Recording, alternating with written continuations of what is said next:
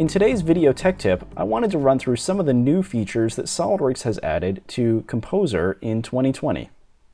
We've always been able to open up SOLIDWORKS assemblies using SOLIDWORKS Composer. However, this year they've actually added some additional options that make Composer even more powerful than ever. If we take a look at our SOLIDWORKS import options here, we can see the option to import a SOLIDWORKS BOM. This is a really good way to maintain consistency between your SOLIDWORKS bill of materials and your Composer bill of materials. That was actually added, I believe, a couple of years ago, if not uh, last year. Um, but the one that I really want to uh, kind of highlight in today's video is the ability to import SOLIDWORKS exploded views and saved views. So let's go ahead and see how that might work. We'll go ahead and open up this assembly, this flashlight assembly, and you'll see that SOLIDWORKS Composer is going to have to convert the SOLIDWORKS assembly into a Composer file. So we'll let that run for just a moment.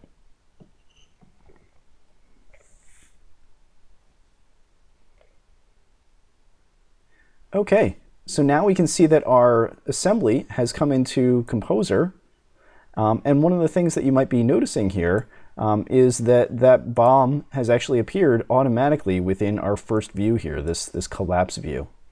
Um, the other thing you'll notice is that these views were automatically populated. Typically when we open up a Composer document, there are no starting views. There might just be a single default view here, uh, but in this case you can see that it has actually added all of these different views that correspond to different explode steps. So here we can see we have the initial collapsed view, and if we scroll down here we can see that all of the explode steps have corresponding views. Finally, if we go way down to the bottom here, we can see that there is also a, um, an exploded view, uh, but that one has a different name to it. This is the lens. It's actually a named view. Um, so that's maybe a different position of this exploded view that has been automatically created. So if you're not familiar with that within SOLIDWORKS, you can create named views that have your own custom orientation. Uh, so that's a good way to bring those into Composer now, uh, in addition to the exploded views. So now that we have these exploded views here, uh, let's take a look at how we might go about creating an animation uh, showing these different explode steps. That's one of the nice things about SOLIDWORKS Composer. I feel that it's a little bit easier to work with animations in Composer than it is sometimes in SOLIDWORKS. Uh, so let's take a look at how that process might go. Uh, first thing I want to do here, in our animation, we probably don't really need to show the bill materials. Um, so we can switch to our exploded view 1. And if we take a look at this, you can see that the bill of materials is also shown in this first explode step. One of the things that we can do here, if we don't really want to show uh, the bill of materials, uh, is maybe go back to our original collapse view, uh, and we'll disable the BOM table. Um, once we do that, we can go ahead and redraw all the views, and you can see that that BOM table then is removed from all of those views. Um, so now, now that we have nice clean views to work with here, let's take a look at how we might create an animation from these.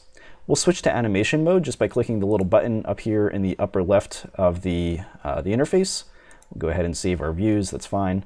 Um, here you can see uh, that the BOM table is showing again, but we can just go ahead and turn that off.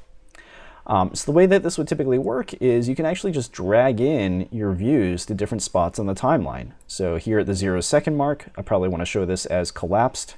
Maybe at the, uh, the two second mark or the, let, us do one second increments. So maybe at the one second mark, I'd want to show uh, that, first, that first plug coming out there and then so on and so forth. We'll just kind of keep dragging these all throughout the, uh, the timeline here to these different time markers. So you can see whenever you do that, you also get uh, these little uh, notations up here at the top of the timeline showing you where you've added those. So that's a good way to kind of keep track of where you are as far as adding uh, these different these different explode views. Um, here you can see this one's a little bit out of order. Um, that's due to the way that this uh, this assembly was built. This actually came from uh, one of the lessons in our training class, our SolidWorks Essentials class, um, and there's a step in that, that lesson where we go through and sort of reorder explode views. Uh, so that's why you see step nine coming before, uh, before step five there. Um, but like I said, we'll just keep adding these throughout the timeline here. We can go ahead and scroll our timeline over if need be. Uh, let's see, we're on step eight. Go ahead and drag that in. And like I said, just kind of keep going about this. Um, you can see not only is it adding uh, positions for these components as we're adding these, um, but it's also updating the, uh, the camera keys for these. Um, so that's really nice. That'll automatically adjust our camera view um, so that we can so that we can easily show um, those different explode steps. Cool. Um, so there we go. We can see that we now have um, all those different explode views in here. Uh, we can add this last lens view if we wanted to. It's just sort of a different orientation here. Uh, and now if we roll back through the timeline and play this, we can see that now we're smoothly animating between all of those explode steps. And you saw just how easy that was to create here within Composer. Um, if we wanted to go back and maybe modify some of these, uh, what we might want to do is maybe start removing um, some camera keys. So for instance, here at this, uh, this point where we start exploding the, um, the, the, the, bottom of this flashlight portion here, uh, what I might want to do is maybe take out some of these camera keys. Maybe I want it to kind of stay in one place um, as we're going through and animating that. So I can go back here, just grab those camera keys, maybe delete those. And what that does is it'll keep our camera in place. Um, it'll kind of smoothly move it to the next camera view. Um, but if I wanted to, um, I could go ahead and just add my own camera keys. So maybe I really just want to highlight this one portion of the, um, the base here. I can go ahead and insert my own camera key. And then again, just kind of keep doing that. Maybe at this point I want to show just a different orientation of that base. Again, I could add a camera key right there and kind of so on and so forth. You'll see that this should then animate through those different camera keys until we get to the end here. So that's looking pretty good. Let's go ahead and play that back just once more just to see how, how it looks. And that's looking pretty decent.